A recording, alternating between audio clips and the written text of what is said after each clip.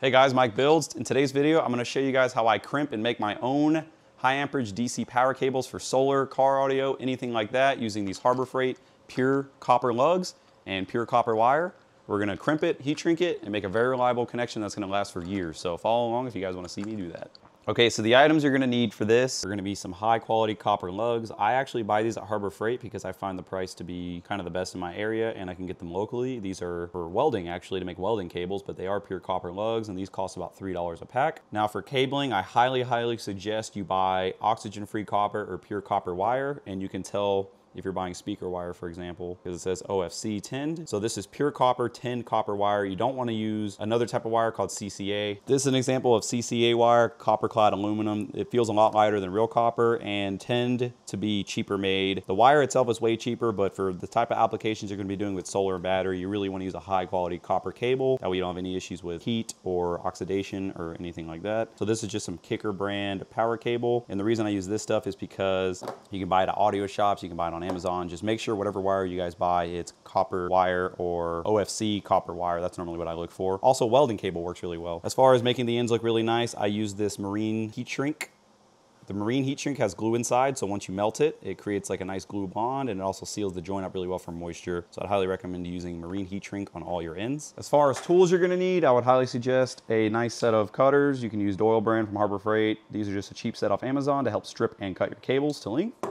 And then you're gonna use a crimper tool. This is the crimper I use because it's hydraulic.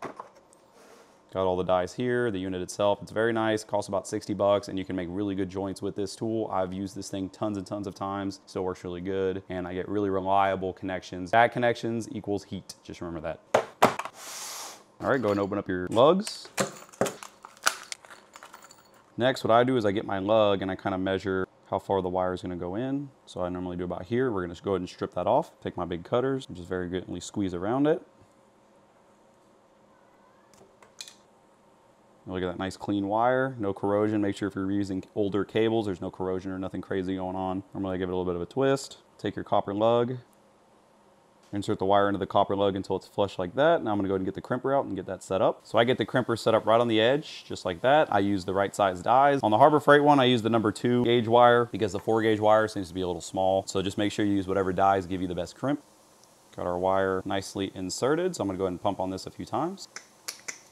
And that's it. As you pump this, it's gonna crimp your lug onto your wire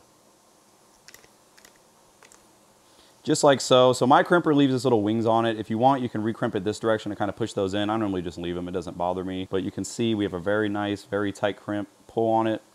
Doesn't want to come off. And guys, real quick, the reason why my crimps have these little wings on here is because the only ones available to me are for number two gauge wire, and we're using a number four gauge wire. So basically what's going on right here is this is the empty void where there's no conductor.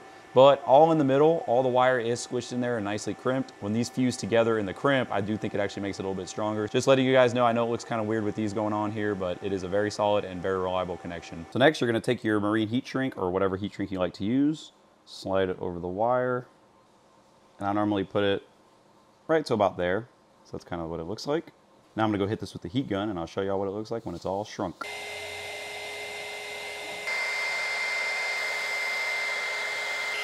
And that's what we're left with, guys. As you can see, we have a nice, clean, heat shrinked, very reliable wire connection that will last for years, that won't get hot. Let me know what you guys think. If y'all need any more help, let me know in the comments, and I'll do my best to try to help you guys. Thanks for watching.